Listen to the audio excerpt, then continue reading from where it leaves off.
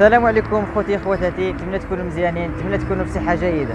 في هذا الفيديو هذه إن شاء الله غادي ندير واحد الجولة مختصرة مدينة بركان عاصمة البرتقال. آه، المهم آه، ما نطولش عليكم. خليكم معايا.